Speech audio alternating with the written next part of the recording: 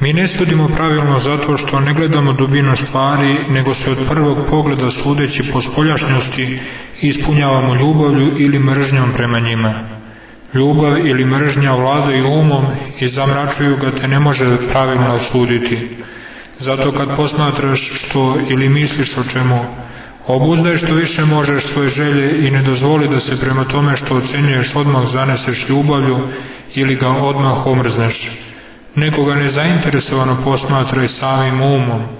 Kada je um u svom prirodnom stanju i nije pomračen strašću, on je slobodan i čist, te može da saznaje istinu, da proniče u dubinu stvari u kojima se pod lažnom privlačnom spoljašnjošću često skriva zlo, a pod ružnim spoljnim izgledom dobro.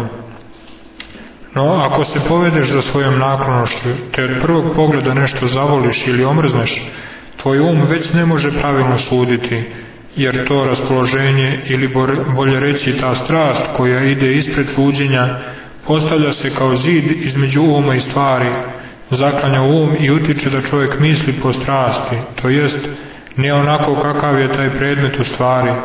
To opet čini da se prvo raspoloženje, ljubav ili mržnja još više povećava. A ukoliko ono jača, ukoliko čovjek više voli ili mrzi nešto, utoliko se u umu odnosu prema tome više zamračuje, dok se sasvim ne pomrači. I događa se da strast prema izvesnoj stvari raste do krajnjih granica, te se čoveku čini da bi je trebalo voleti ili mrzeti više od svega na svetu. Tako je to biva kada čovek ne zauzdava sebe, nego dopusti sebi da zavoli ili omrzne nešto pre nego što o tome promisli. Um ili volja u tom slučaju rđavo funkcionišu i sve dublje padaju iz tame u tamu iz pogreške u pogrešku.